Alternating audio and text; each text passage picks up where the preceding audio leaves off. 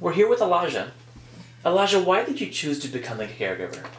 I chose to become a caregiver because um, I, I, I came from um, a family of a lot of people, a lot of children. Uh, most of my brothers came to me because I have a patience and I listen to them. And also I love people.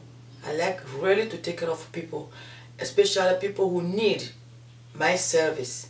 So that's why I became I should to become a caregiver.